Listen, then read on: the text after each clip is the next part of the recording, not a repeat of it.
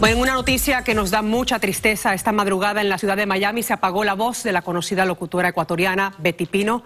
Grandes estrellas han expresado su dolor a través de las redes sociales. Lo han hecho en Facebook, lo han hecho en Twitter. El cantante español, por ejemplo, Diango, escribió en su cuenta de Twitter, hoy es un día muy doloroso para mí, más que doloroso, trágico. Nos ha dejado la más grande persona que he conocido. Su gran amigo Julio Iglesias expresó, comadre, no esperaba que te fueras tan pronto, pero nos vamos a ver pronto también. Fuiste un amor de persona conmigo, la vida no va a ser igual para todos los artistas a los que tanto ayudaste. Shakira, Rafael, Luis Fonsi, Paloma San Basilio, entre muchos otros amigos y colegas, también lamentaron profundamente su partida.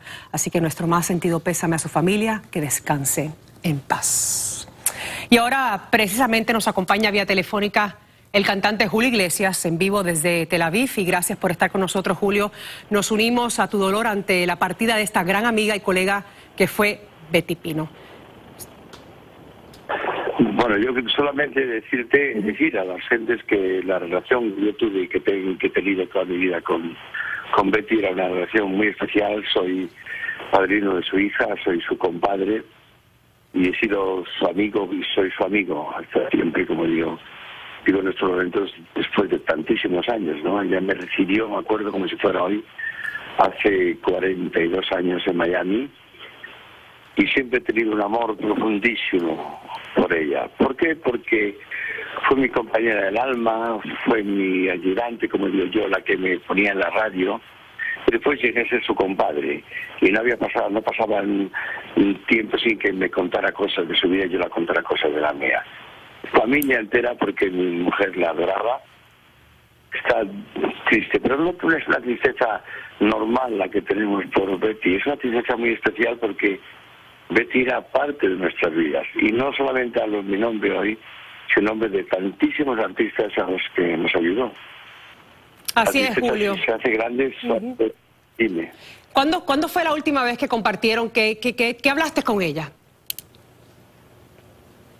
Pues la última vez que compartí con ella fue como la llamé como hace dos meses y medio, dos meses, dos meses más o menos, porque me estaba diciendo que a ella le gustaría que hiciera un tipo de disco eh, muy latino, ¿no? Me hablaba de las canciones y de, todo lo que ella pensaba que debía hacer.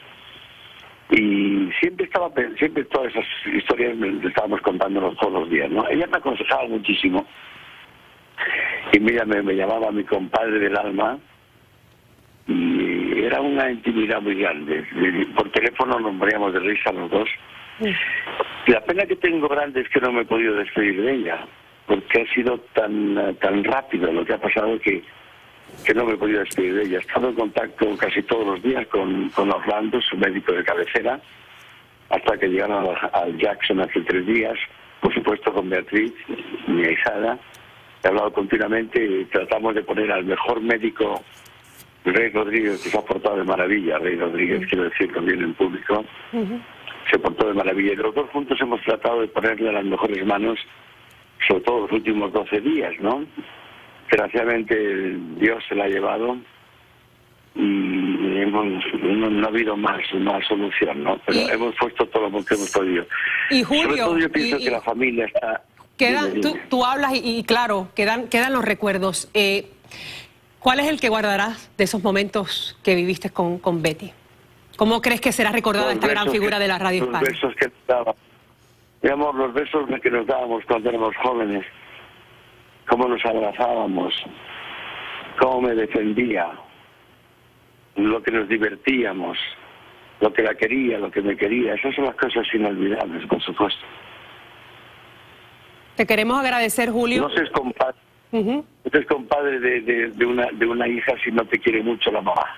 Así es, Julio, y así la recuerdan muchos y te queremos agradecer muchísimo eh, este tiempo que has hecho para hablar con Primer Impacto, este momento tan difícil eh, para muchos, eh, sobre todo para las personas cercanas a ella, incluyéndote a ti, a toda su familia. Eh, sabemos que estás en Tel Aviv y nuevamente gracias por hacer este espacio en tu agenda ocupada para poder hablar un poquito sobre Betty Pino y recordarla aquí en Primer Impacto, porque como sabes, obviamente aquí las queríamos mucho, somos de Miami. Muchas gracias y nuestro más sentido pésame para toda la familia. Gracias, Julio. Gracias. Muchas bendiciones para ti.